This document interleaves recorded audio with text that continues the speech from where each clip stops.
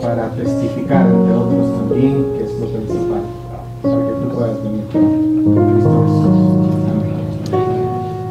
Gracias, gracias.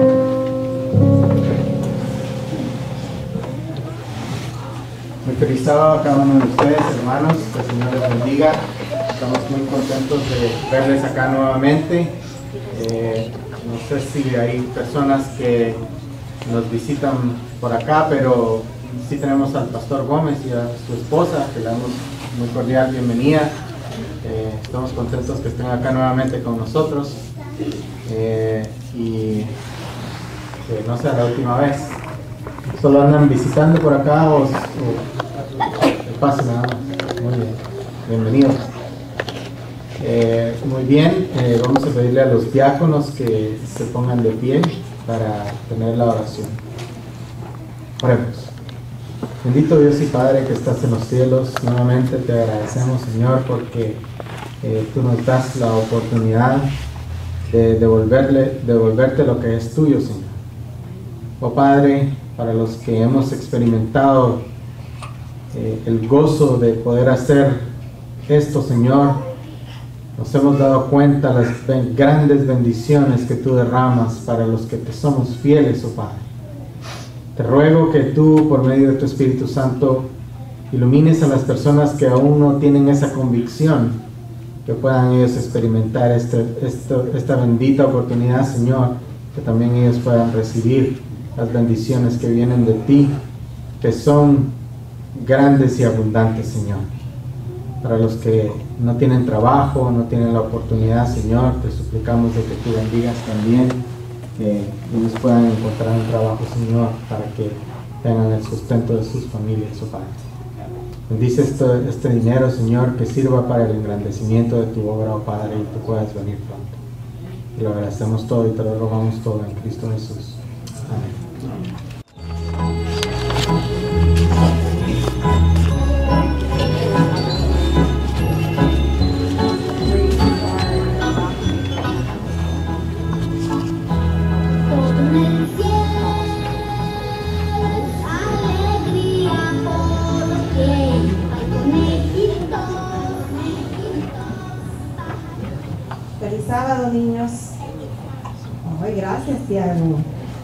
¿Y los otros niños feliz sábado?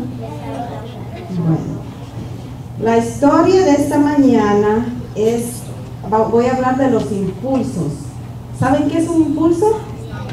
El impulse, reflex, yes, cuando algo que lo haces instantáneo. Si te tiran una pelota, ¿qué haces? Lo agarras, ¿verdad? No te quedas así parado y que te peguen la cara, ¿verdad? Mueve las manos. Las moscas ¿Saben? Las moscas pues, poseen un cuerpo dividido en tres partes. Tiene la cabeza, el tórax y el estómago, el abdomen. Y tienen muchos, muchos como ah, partes en los ojos que se dividen, que les ayudan a ver y se limpian los ojos. They, clean their eyes with, with their hands and they lick their little hands and clean their eyes. Dice la las moscas no solo les agrada la rica comida que hace mamá o papá en casa, sino también la carne con descomposición y el estiércol. Estiércol. Oh, estiércol. Bueno. Eso les hace transmisoras de diversas enfermedades infecciosas para las personas y los animales. O las moscas cargan muchas infecciones. They carry very a lot of infectious because they eat a lot of uh, rotten stuff, right? Flies like that. I'm talking about flies right. Y las moscas pueden ser animales muy pequeños, so flies are tiny little animals, right? And they're annoying. And they carry a lot of disease. Y dice, pero su sola presencia produce rechazo y desagrado, porque trae consigo la pestilencia, suciedad y enfermedades. La Biblia hace referencia a estos animalitos y dice, las moscas muertas echan a perder y dan mal olor al perfume. Asimismo hace una pequeña locura al que es estimado como sabio y honorable. Eclesiastés 10.1. ¿Qué quiere decir este versículo? Que las moscas son como los impulsos, porque son bien pequeñitas y rápidas, pero traen hay veces muchas consecuencias con las enfermedades. So the flies are kind of like an impulse because they're tiny, right? And they're annoying and they're quick, but they carry a lot of sickness that causes consequences, right? Y los impulsos, dice, los impulsos se parecen mucho a las moscas, aunque son actos muy pequeños que pueden durar solo pocos segundos algunos pueden traer mucho daño y dolor a la vida de las personas. Los impulsos son pequeñas conductas, pequeñas explosiones que aparecen producto de una emoción. Por ejemplo, podemos tener el impulso de abrazar a alguien cuando estamos muy alegres, pero también podemos sentir el impulso de golpear a otro o herir con nuestras palabras cuando estamos molestos. So we have a quick impulse. If we're super happy, we want to hug someone. But if we're mad, what do we want to do? Hit someone or say something not so kind. Los actos impulsivos generalmente tienen muy malas consecuencias y después de haber cedido a ellos, solemos sentirnos muy mal, pero el daño ya está hecho. So after we act quickly without thinking, we feel bad, right? but we've already done what was not good, right? The, the damage is already done. La Biblia nos dice que una pequeña locura dirigida por un impulso puede dañar la vida de un niño, aunque sea un buen niño. Algunos niños se dejan llevar por la ira, la agresión, la violencia o inclusive la tristeza y de esta manera dañan algo maravilloso que es su propia vida y la de los demás. traen bacterias las moscas, sí, es cierto. La próxima vez que sientas que algún impulso negativo desea controlarte, ora a Dios para que te ayude. Su poder unido a tu fuerza de voluntad te dará la victoria sobre esos impulsos. Cuando haces esto, estás, estás demostrando que eres un niño esforzado y valiente. No quiere decir que ya no sentirás tristeza, enojo o alegría, sino que ahora no permitirás que los actos impulsivos sean los que te controlen y sabrás que todo te sale mejor si lo piensas bien. So it's saying, next time you feel an impulse to act on your negative feelings, what should you do? Count to 10, yes. Pray, right? And ask the Lord to help you what you should do in that moment. Now, it doesn't mean you're not going to be angry or you're not going to have those feelings next time. But what that means is that God is going to help you to control those feelings and not have quick impulse reactions that are going to have long consequences, right? Or bad consequences. A ver, ¿quién, ¿alguien quiere orar con nosotros? Tiago. ¿Alguien más? Bueno, Tiaguito, vamos a ver. Querido Jesús, cuídame cuida todas las personas que han estado escuchando de ti y, la, y cuida a las personas también que nos están viendo por la pantalla.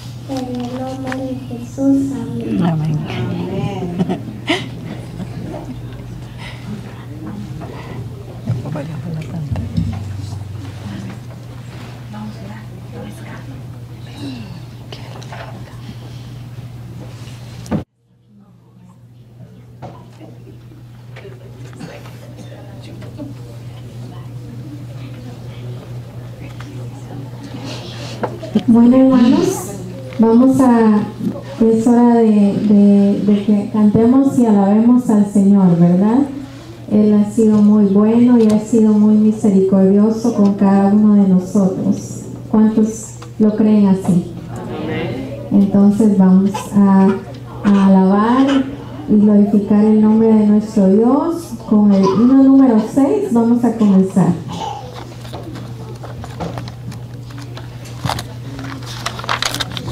Para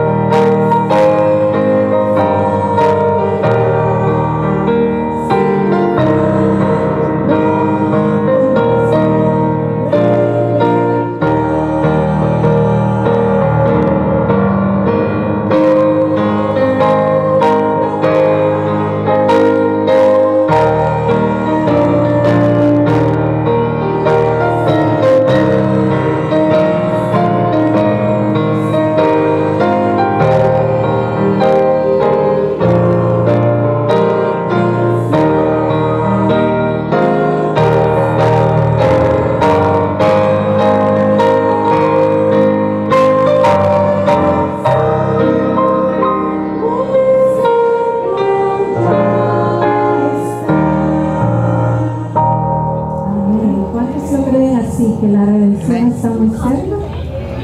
Bueno, vamos a seguir cantando acerca de ese suceso que todos esperamos. Cantamos el número 160.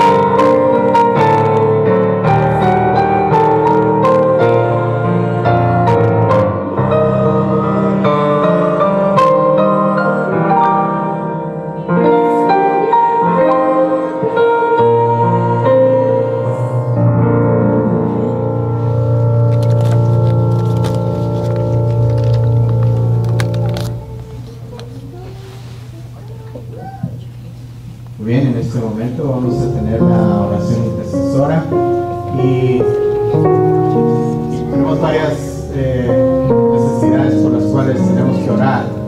Eh, por eh, nuestro pastor Uts, que está atravesando momentos difíciles, tuvo una intervención esta semana, eh, está por hoy, está en cama, así es que por él para que el Señor le a recuperarse pronto también por Eric, el, esposo de, Sori, que está muy enfermo, así que hasta el hospital no abre el brazo, posiblemente iba al hospital hoy, así que oremos por Eric para que también se pueda recuperar pronto. Eh, y también les ruego una oración por mi papá, que esta semana viaja para Guatemala. Eh, es un pues, viaje de vacaciones, va por algo médico, así es de que eh, les ruego sus oraciones por él.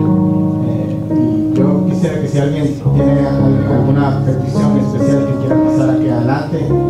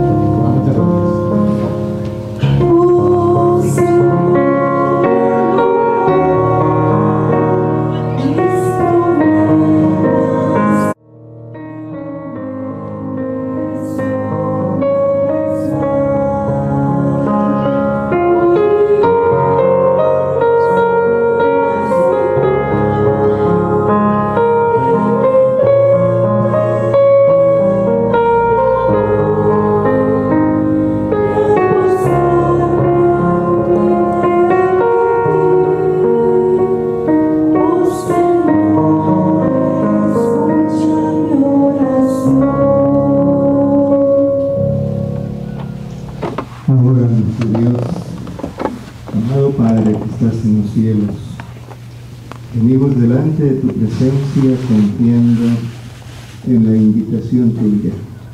Venid a mí todos los que estáis trabajados y cargados, que yo os haré. Señor, tú sabes por qué estoy yo aquí enfrente. Tú conoces los asuntos que afligen mi alma, son personales, son privados, pero tú lo conoces. Nada escapa a tu vista y a tu corazón amante. Primero quiero pedir el perdón de mis pecados, oh Señor. Quiero estar seguro que tú escuchas mi oración. Estoy orando en nombre de toda la iglesia y estoy trayendo aquellos casos que son conocidos y vamos a mencionarlos audiblemente. El pastor, tú conoces la situación que lo aqueja ahora y estamos seguros que tú ya estás trabajando en él y lo vas a sanar de acuerdo a tu santa y divina voluntad.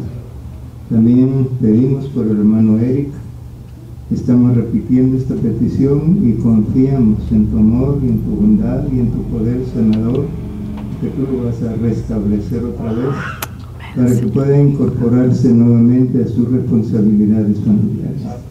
Y también ponemos el viaje de nuestro hermano Hugo a Guatemala, con todos los riesgos que eso implica, pero especialmente por la- el motivo que lo lleva allá para hacer algunos tratamientos que tienen que ver con su salud física.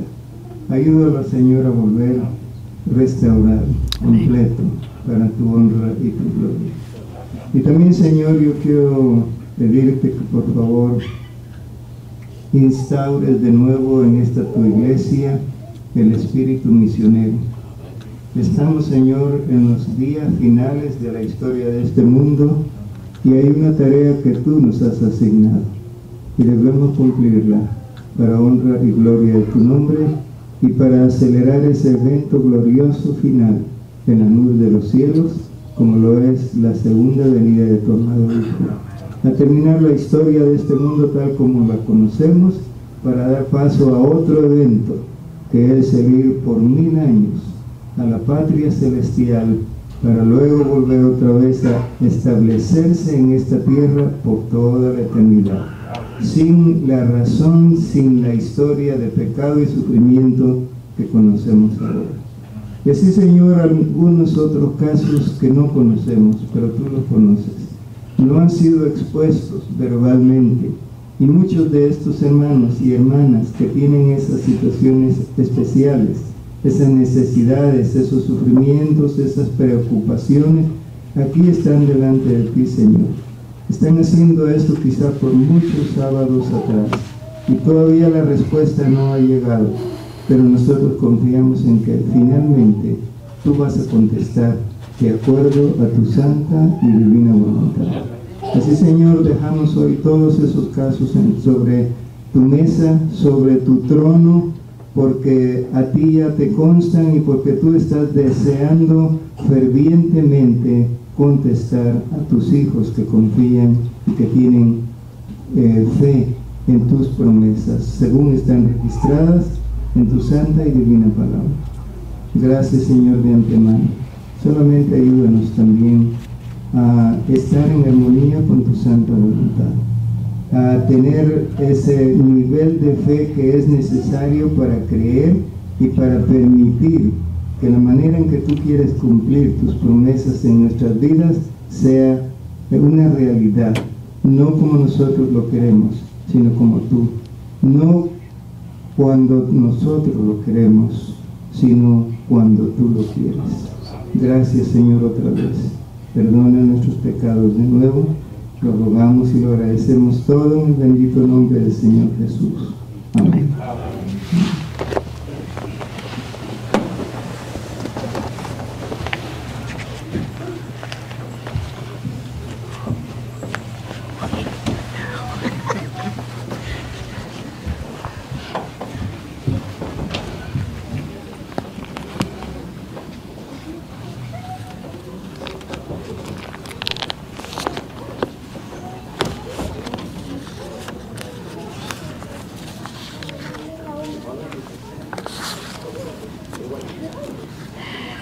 Buenos días y feliz sábado cada uno de ustedes tengan hermanos en esta mañana.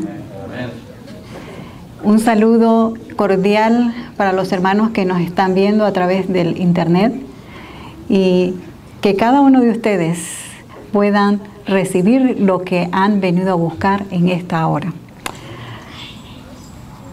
Una vez orado,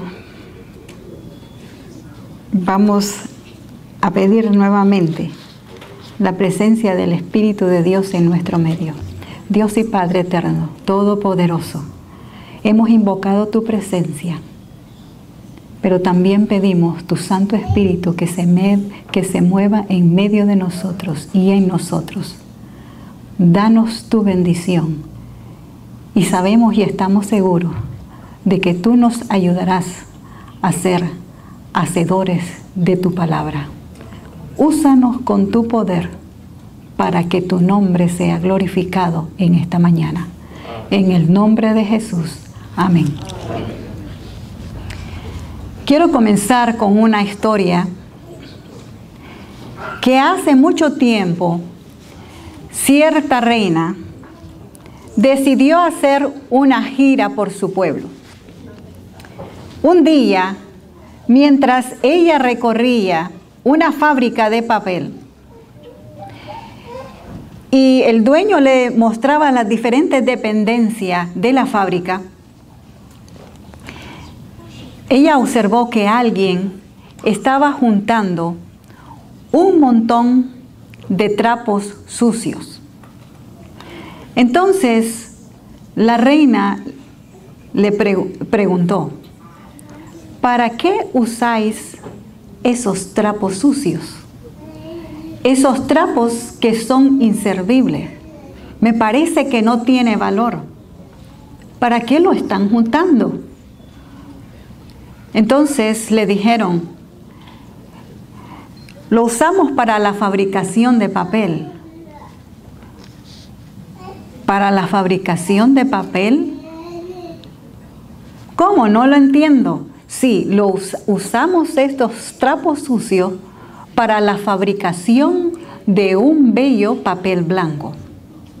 No lo puedo creer, decía ella, eso es imposible. Sin embargo, así es su majestad.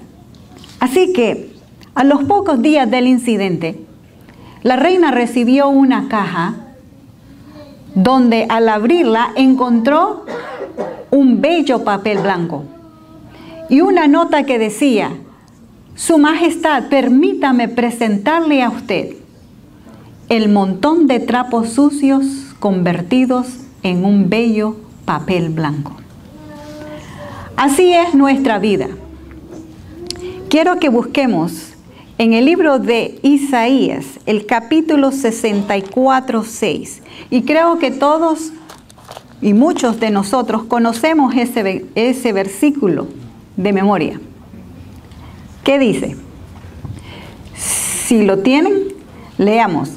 Si bien todos nosotros somos como suciedad y toda nuestra justicia como qué? Como trapo de inmundicia. Y caímos todos nosotros como la hoja y nuestras maldades nos llevaron como viento. Todos sin excepción somos pecadores ante los ojos de Dios. Nuestros caracteres somos, son como trapo de inmundicia, pero cuando venimos a tener un encuentro con Cristo y le damos nuestro corazón, somos entonces restaurados. Él lava nuestros pecados y nos hace blanco. Isaías 1.18 dice, ¿qué dice? Si vuestros pecados fueren como la grana, como la nieve serán emblanquecidos, y si fueren rojos como el carmesí, vendrán a ser como blanca lana. Esta es la obra de purificación y transformación que Cristo hace en nuestras vidas. La santificación es la obra de Dios en nuestras vidas. Quiero compartir con ustedes dos historias muy sencillas, pero que son este, que podemos extraer de ellos lecciones espirituales y para nuestro crecimiento de lo mismo. Están basados en el capítulo 60, 61, si no me equivoco, 61 del deseado de toda la gente, uno de ellos, y en el capítulo 17 del mismo libro, están reflejadas las dos historias, pero en la Biblia, en la palabra del Señor la encontramos, uno de ellos en el libro de San Lucas. Pero antes de hablar de este personaje, quiero hablar un poco acerca del lugar de donde vivía esta persona. Es conocido por ustedes cuando escuchen el nombre de, de la ciudad. Así que a pocas millas del Jordán estaba Jericó. Había una, una vegetación tropical. Sus palmeras, sus ricos jardines eran regados por manantiales. Habían muchas caravanas que pasaban por la ciudad de Jericó. Y siempre que las caravanas pasaban era porque había una ocasión festiva.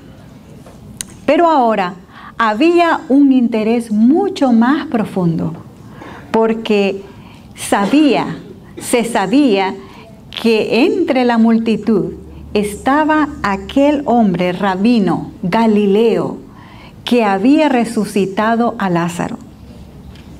Jericó era una de las ciudades apartadas antiguamente para quienes, para los sacerdotes, y un gran número de ellos residían allí. Así que nuestro personaje de esta mañana, uno de ellos, el principal de los publicanos, Saqueo. Saqueo era, era, era de dónde? ¿Era dónde? ¿De Jericó? ¿Era dónde? Era judío, era judío. Era despreciado, era desechados por sus compatriotas. Su posición y su fortuna eran una injusticia a la extorsión del pueblo. Sin embargo, este hombre no era aquel hombre duro, mundano que parecía ser. Bajo, bajo esa apariencia de mundanalidad, de orgullo, había un corazón susceptible a las influencias divinas. Saqueo había oído hablar acerca de Jesús. Juan el Bautista había predicado en las orillas del mar del Jordán y Saqueo había escuchado el llamamiento y al arrepentimiento. Saqueo conocía las escrituras y estaba convencido que sus prácticas eran incorrectas. Ahora, él a oír las palabras que decían del Salvador, del Maestro, sintió de que él era un pecador ante la vista de Dios. Sin embargo, lo que había escuchado hablar de Jesús encendía la esperanza en su corazón. Saqueo anhelaba ver el rostro de Jesús. Las calles estaban atestadas. Saqueo era de poca estatura. ¿Ustedes saben de qué estatura era Saqueo? ¿Alguien sabe? La Biblia no lo menciona. El Espíritu Profecía tampoco lo, lo ha mencionado en lo que he leído. ¿Alguien sabe de qué, de, qué, de qué tamaño parecía que era? ¿Pastor? Pequeño. Pero aquí pues no sabemos si era así de mi tamaño. Posiblemente. Pero dice que era tanta la multitud que no podía, no podía ver nada. Así que, ¿qué hizo? Rápidamente él se le ocurrió y dice, voy a adelantar a la multitud. Se adelantó a la multitud y hasta que llegó hasta aquel árbol frondoso llamado sicómoro y sus ramas se extendían, dice el Espíritu de Profecía, hasta el medio del camino. Y mientras él estaba ahí, y el gentío se estaba acercando. Con ojos anhelantes, él buscaba para distinguir la, la figura de aquel personaje que él quería ver. Pero aquel deseo inexpresado de saqueo llegó al corazón de Jesús. Entonces, encontramos las palabras que el Señor Jesús le dice en San Lucas 19:5. Aquella multitud se detuvo. Los que iban atrás y los que iban adelante se detuvieron y entonces el Señor Jesús le dice, Saqueo, date prisa, desciende, porque hoy es necesario que pose yo en tu casa. Entonces él descendió o se quedó ahí en el árbol? Descendió a prisa, dice, rápido, y le recibió gozoso. Al ver esto, todos murmuraban diciendo que había, que había entrado a, a posar con un hombre pecador. ¿Se recuerdan de que a Saqueo lo despreciaban? ¿Lo desechaban sus mismos compatriotas? Pero Saqueo resolviendo, resolviendo hacer público su confesión y su arrepentimiento. Entonces lo dijo delante de la multitud en el versículo 8.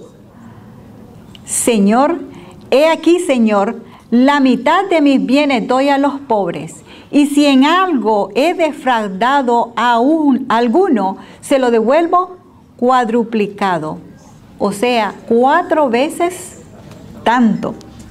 Así que Saqueo había, se había rendido a la convicción del Espíritu Santo. Saqueo descendió de aquel árbol. Los publicanos, dice el Espíritu de Profecía, tenían una confederación para oprimir al pueblo, ayudarse mutuamente en sus fraudulentas prácticas. Aún los sacerdotes, los rabinos, ellos que lo despreciaban eran también los culpables de enriquecerse mediante prácticas deshonestas, cubiertas bajo el santo sagrado de su cargo. Pero tan pronto Saqueo se rindió a la influencia del Espíritu Santo, abandonó abandonó esas prácticas incorrectas. Saqueo había descendido del árbol del orgullo, de la avaricia, del odio, de la vanidad, de la indiferencia y recibió gozosamente al Señor. Saqueo aquel en aquel momento, en aquel suelo, reconoció su pecado Y entonces vio la grandeza del Señor. El poder divino había tocado la vida de Saqueo y lo había transformado. Desde entonces su vida fue diferente. Es que recibir al Salvador como su Señor, como su Dios, es lo más grande que un ser humano puede hacer. Ahora había encontrado la felicidad que ningún dinero puede comprar. Cuando el alma se entrega a Cristo, un nuevo poder se posesiona de un nuevo corazón y entonces comienza a haber un cambio que ningún hombre puede realizar por su cuenta.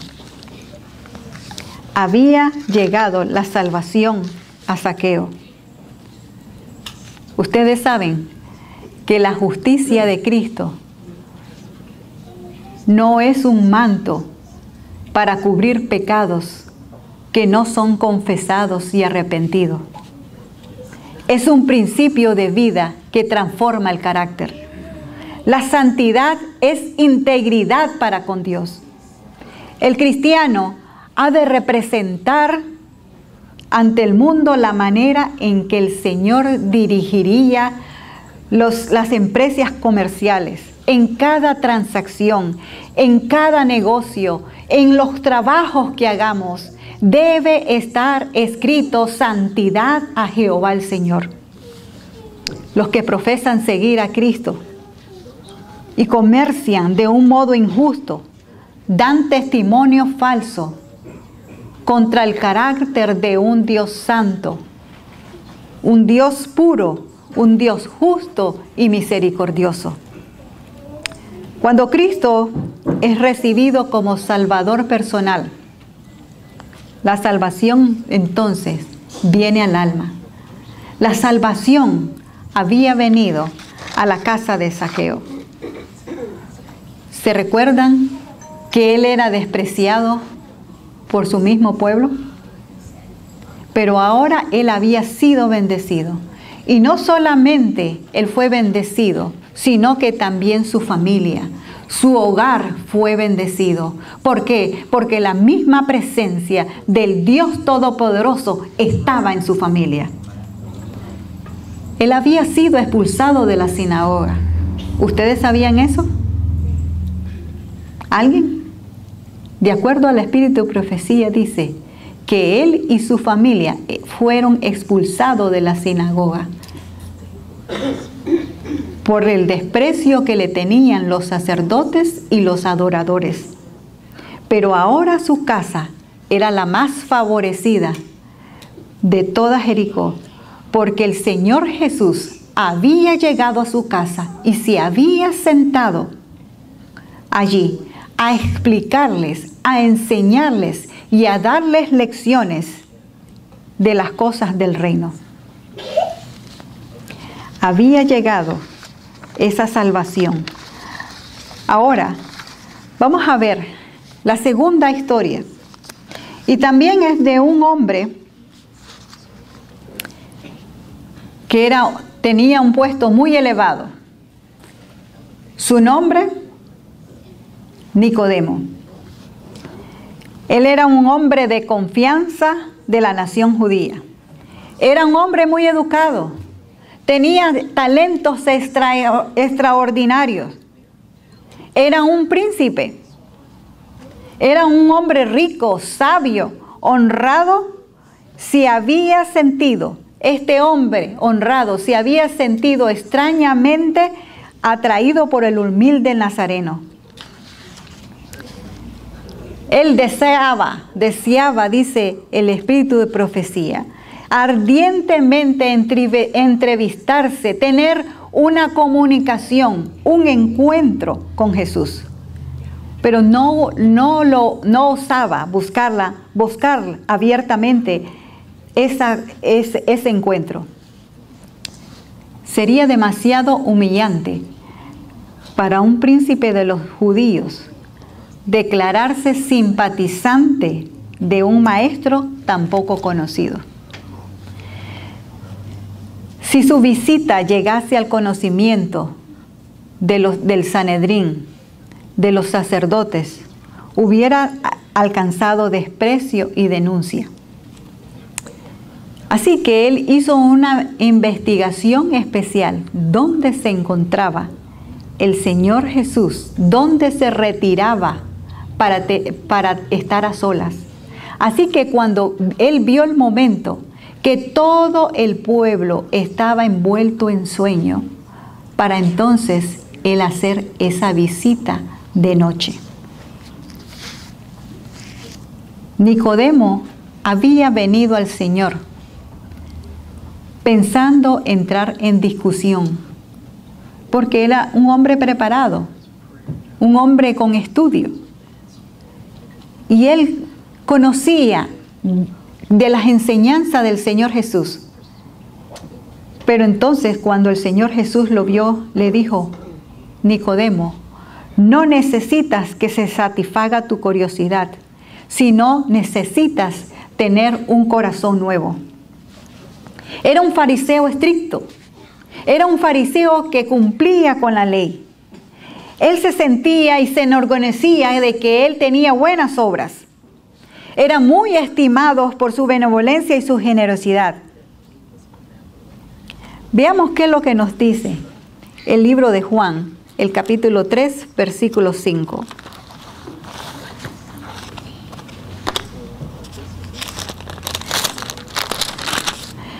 Vamos a comenzar con el 3. Respondió Jesús y le dijo, de cierto, de cierto te digo, que el que no naciere de nuevo, que el que no naciere de nuevo, no puede ver el reino de Dios. ¿Escucharon eso bien?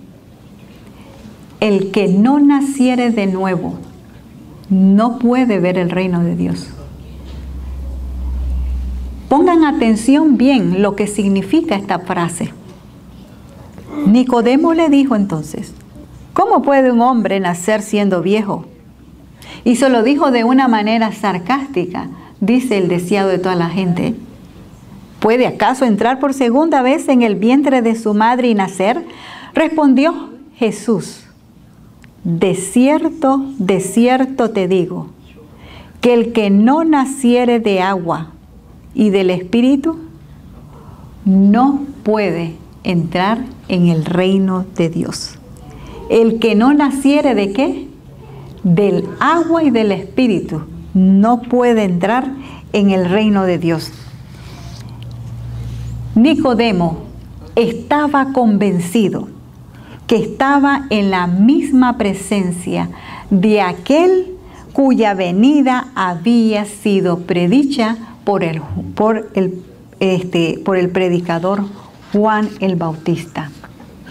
Ningún invento humano, mis queridos hermanos, puede hallar un remedio para el alma pecaminosa. La intención de la, de la carne es la enemistad contra Dios, porque no se sujeta a la ley y tampoco puede hacerlo de lo dentro del corazón, del corazón que salen. Lo leímos esta mañana. Los malos qué? Pensamientos. ¿Qué más? Las malas intenciones, muerte, adultero, adulterios, hurtos, falsos testimonios, fornicaciones, blasfemias, las fuentes del corazón deben ser purificadas. La vida del cristiano no es una modificación o es una mejora de, la naturaleza. Cuando el Espíritu de Dios se posesiona del corazón, entonces, ¿qué pasa? Hay transformación de la vida. Nicodemo se sentía atraído por las enseñanzas que el Señor le había le estaba eh, eh, dando concerniente al nuevo nacimiento. Sintió el anhelo de que ese cambio se realizase en él. Esa noche, la vida de Nicodemo cambió. Es maravilloso ver que el pasar un momento y un tiempo con Jesús podemos tener cambios en nuestra vida. Nicodemo creía que era un hombre recto, que era un hombre perfecto. Pero ahora que había tenido ese encuentro con el Señor, ahora podía verlo todo, que necesitaba un cambio. En esa noche, Nicodemo decidió hacer el cambio en su vida. ¿Por qué? Porque vino a ese encuentro con Jesús. Vino de noche y se fue de día. Porque todo aquel que viene al Señor de noche este, comienza un nuevo amanecer iluminado por el poder del Espíritu Santo. Y entonces viene esa transformación que el ser humano, que el cristiano necesita. Purificado, purificado e ennoblecido.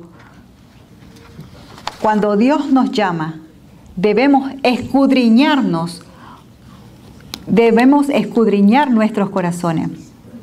Quiero compartir con ustedes una historia. Un hombre había comprado un rancho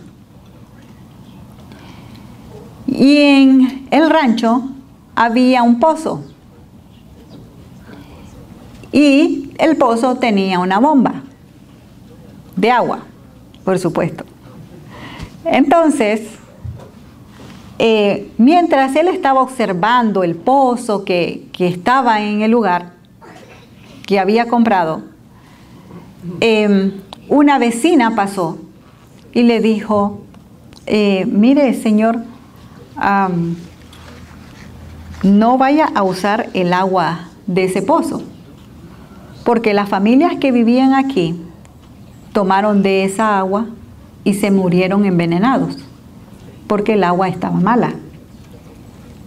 Entonces el hombre dijo, ¿verdad? Ok, muchas gracias. Eh, creo que todo estará bien. Pero de repente, él se puso a pensar y dijo, bueno, voy a comenzar a pintar el pozo. Voy a pintar la bomba de agua eh, voy a tapar todos los agujeros. ¿Qué ustedes creen? ¿Estaba correcto? ¿Eh? ¿Por qué? Yo miro que mueve la cabeza, después dice, ¿por qué? Porque el problema era qué? El agua. No era el pozo. El agua estaba envenenada. ¿Qué es lo que está pasando? Nuestra vida es como ese pozo. Eso es lo que está procurando hacer el pecador. Muchas veces trata de pintar su vieja naturaleza y siempre que está inclinado al mal, Así como aquel hombre que necesitó, necesitaba un pozo nuevo, también nosotros necesitamos un corazón nuevo. ¿Ustedes no lo creen así? Cuando Dios nos llama, debemos escudriñarnos profundamente, cavar y cavar hasta llegar a donde ese punto que nos hace, nos ha hecho estar separados del Señor. El Señor Jesús está listo para darnos a nosotros una nueva vida, darnos un nuevo corazón. ¿Por qué somos tan difíciles?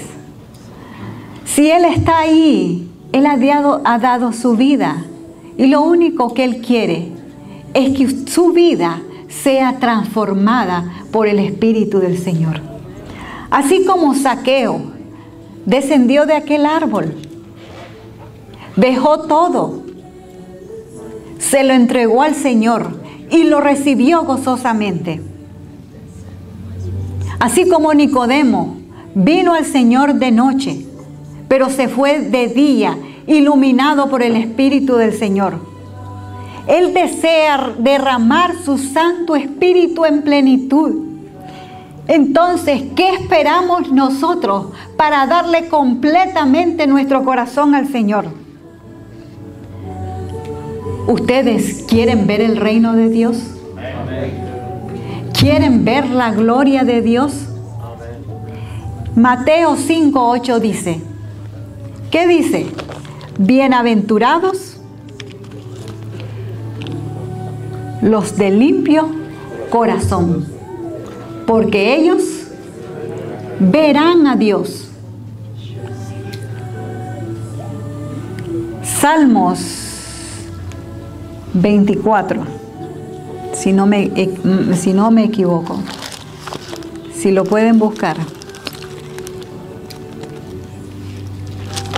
Dice, versículo 3, ¿quién subirá al monte de Jehová? ¿Y quién estará en su lugar santo? Solamente quién? El limpio de manos y puro de corazón, el que no ha elevado su alma a cosas vanas ni jurado con engaño. ¿Quién subirá al monte de Jehová? Solo los limpios y puros de corazón. Necesitamos un nuevo corazón. No podemos estar más y venir aquí todos los sábados de 9, 10 de la mañana a las 11, a las 12 y terminó y no tenemos un encuentro personal con Jesús. Porque necesitamos ver a Dios, necesitamos ir a su reino, necesitamos un corazón nuevo. Ese corazón no lo podemos conseguir si no tenemos un encuentro personal con Dios, si no le damos nuestra vida si estamos afanados en nuestros quehaceres, en nuestras vidas, en nuestras casas, en nuestros negocios, en lo que yo quiero y puedo tener más. Y dejamos esta luz que es la que nos ilumina a tener un corazón limpio y nuevo. Quiero invitarles, dejándole estos en mente, a que se pongan en pies y vamos a cantar este himno y mientras cantamos, pensemos y analicemos y escudriñemos nuestros corazones, cómo estamos y que necesitamos entregarle ese corazón a Dios.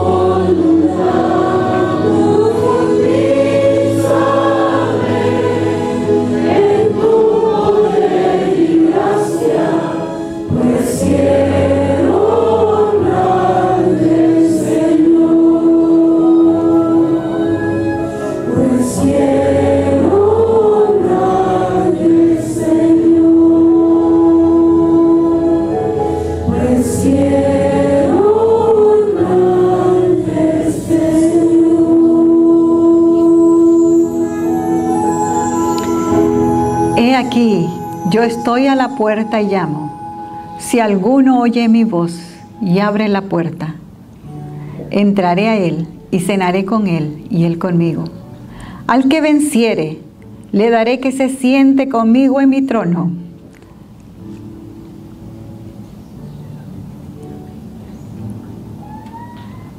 Así como yo he vencido y me he sentado con mi Padre. Dios y Padre eterno. Señor, perdónanos. Porque te hemos fallado en muchas ocasiones.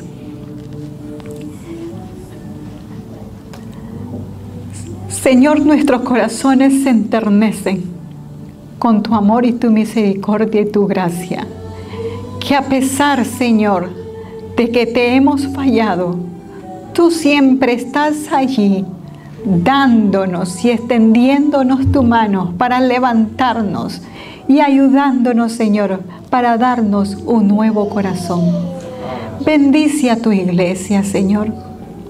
Tú sabes los caminos por donde ellos andan, pero ayúdales para que en su mente y en su corazón siempre pueda estar escrito santidad a Jehová Señor. Señor, límpianos de toda maldad.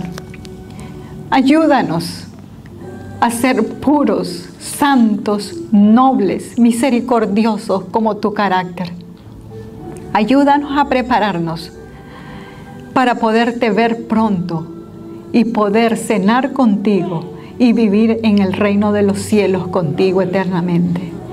Gracias por tu palabra, porque en ella, Señor, encontramos ese bálsamo, ese alivio que nuestros corazones quebrantados necesitan. Por eso en esta mañana, bendice a tu pueblo, Señor, en la ancha faz de la tierra, pero en este momento en la iglesia de Calhoun. Que tu Espíritu Santo, se, Señor, se posesione sobre cada uno de ellos y para que entonces puedan haber vidas transformadas para tu honra y tu gloria. Gracias por escucharnos, Señor. Encomendamos nuestras vidas en tus manos, en el nombre de Jesús. Amén.